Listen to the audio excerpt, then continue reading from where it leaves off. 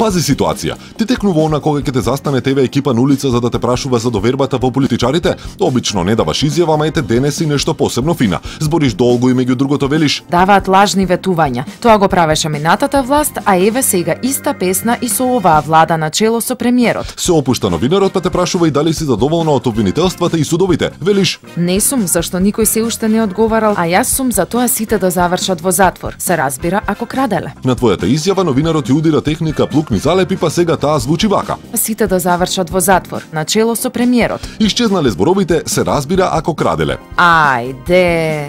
Затоа прво бараш од уредништвото на медиумот подитно да ја тргне твојата унакажана изјава и второ бараш исправка, односно демант. А што ако ме одбијат? Има еден куп други механизми, на пример представка до АВМУ, жалба до Советот за етика во медиумите, представка поради прекршување на професионални стандарди и етика и последно прибежиште граѓанска тужба против навреда и клевета.